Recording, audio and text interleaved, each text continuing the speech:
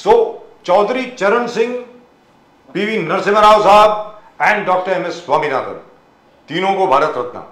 ज़बरदस्त। क्या कहेंगे सर आप उसके, इस विषय में आप क्या कहेंगे जरा बताएँ।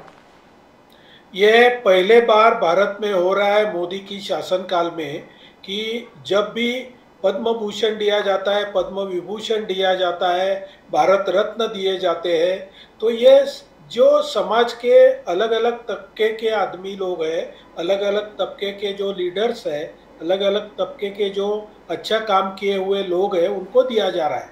पहले क्या था कि पूरा एक खानदान के लिए ही सब भारत रत्न रहो, ये कोई मेडल्स रहो, रास्ते का नाम रहो कॉलेज का नाम रहो यूनिवर्सिटी का नाम रहो, पूरा एक ही फैमिली दिखता था इतने साल में।